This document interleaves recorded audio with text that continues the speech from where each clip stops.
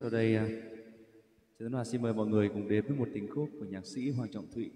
Các khúc được mang tên Đoạn khúc cuối cho em. Xin quý vị cùng lắng nghe.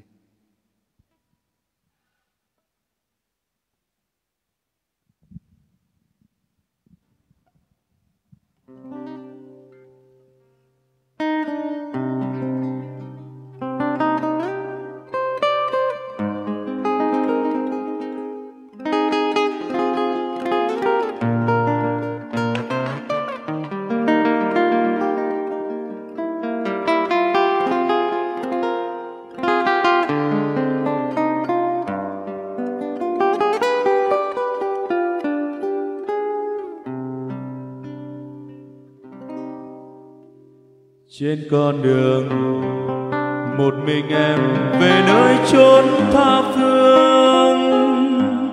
Cơn đau xa người, còn thắm môi hôn nhớ về ai. Phút chia tay, em nói lời tiễn đưa mắt anh buồn, nhìn em thôi đã mất. Đêm hôm nào, mùa trăng thu chờ em đến bên tôi. Vui thân xa rời, hình bóng em theo chăn gối này thoáng hương xưa, thôi cũng đành nói cho nhau lời cuối cùng. Dấu chân em rơi, cắn gắng buồn tay và ngày em đi, anh đưa môi tìm lên mùi son cũ. Dấu vết ai ân tan theo những lời nói khi lìa nhau.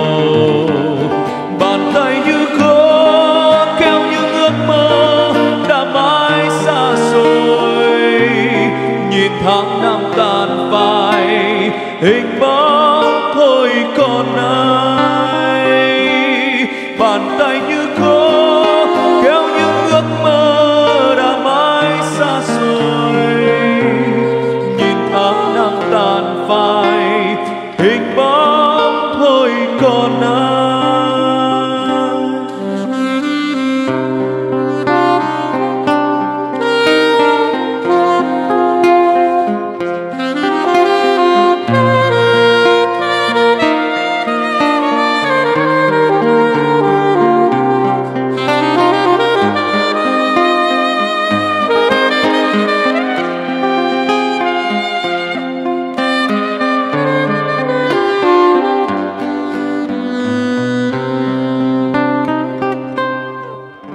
đêm hôm nào mùa trăng thu, chờ em đến bên tôi.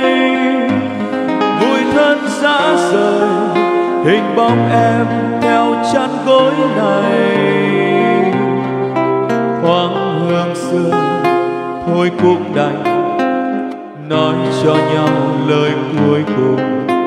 Dấu chân em rơi cắn gắt buồn thầy em đi. Anh đưa môi tìm lên mùi son cũ. Dấu vết ai ân tan theo những lời nói khi lìa nhau. Bàn tay như khô, kéo những ước mơ đã mãi xa xôi.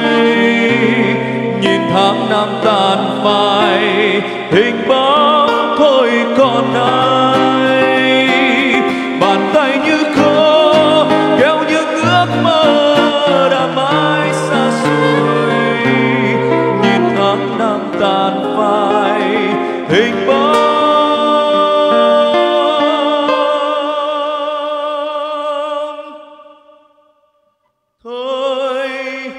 còn